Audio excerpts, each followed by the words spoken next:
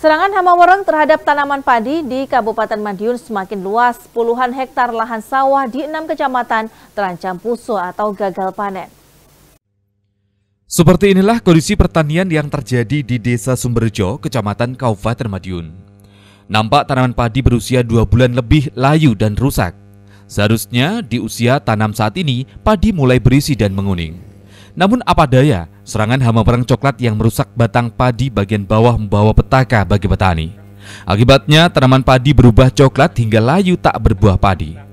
Bahkan sebagian petani yang frustasi memilih membiarkan padinya habis diserang wereng. Berbagai upaya pemberantasan hama wereng telah dilakukan beberapa kali hingga petani pun putus asa. Orang Orang. Sejak kapan itu? atau tanam. Pada tanam. Usia berapa bulan ini?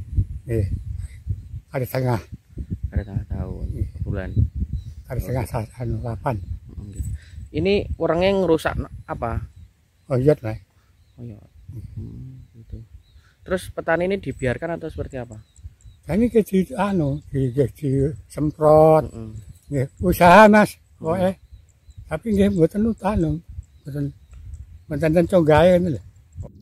Data dari Dinas Pertanian Kabupaten Madiun, serangan hama wereng mereka terjadi di enam kecamatan, lebih dari 50 hektar sawah petani terdampak. Pihaknya mengklaim telah memberikan bantuan obat-obatan baru ke beberapa petani saja. Saat ini masih dalam identifikasi dan inventarisir luasan lahan sawah yang terancam gagal panen. Bereng memang ini sekarang masih banyak, banyak hampir hampir dari 15 kecamatan itu ada serangan bereng, tapi ini ada yang standarnya yang ringan, sedang, sama berat. Ada yang juga busuk. Kalau Untuk bereng sampai saat ini ada di Saragan, Bilang Kenceng, Madiun, dan Sawan yang agak potensi. Serangan hama wereng di saat cuaca kemarau basah sering terjadi, Dinas Pertanian telah bekerja sama dengan penyuluh pertanian lapangan atau PPL dan pengamat organisme pengganggu tanaman atau PUPT di setiap kecamatan.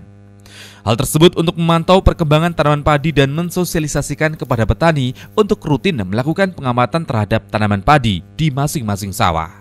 Tova Pradana, JTV, Madiun.